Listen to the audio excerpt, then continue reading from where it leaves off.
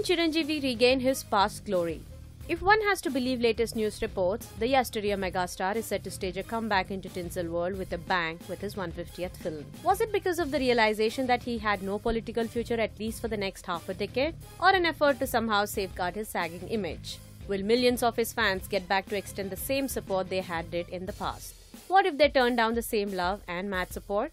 These and many such questions are bound to fly around in coming days. A quick peep into his past reveals only failures after failures in the journey of megastar ever since he chose to take a plunge into active politics. That his Prajarajyam party, which boasted to provide social justice, failed to take off as it could win just 18 of the 294 assembly seats in the 2009 elections.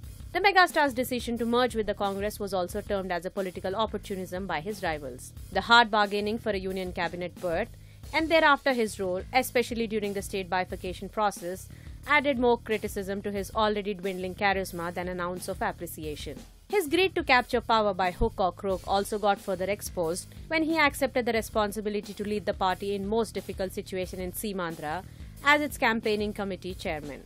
A defensive Chiru indeed became defenseless over the party's decision to divide the state, and the election results proved yet another slap on his face as a failing leader. As if this was not enough, he had to face more embarrassment when his younger brother Pawan Kalyan chose to don the cause of arch rivals TDP BJP combined. That, under his stewardship, the Congress experienced worst ever defeat now goes into the records of the state political history. In that backdrop, Chiranjeevi's decision to go back to Tinsel World, though not to come as a surprise to many, yet raised many eyebrows and pointed questions. What if his so-called 150th film proves a cropper?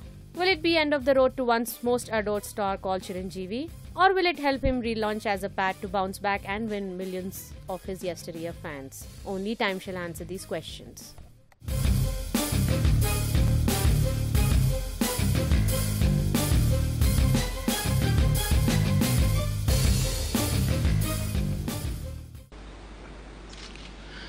क्या मां की सेवा कभी कृपा हो सकती है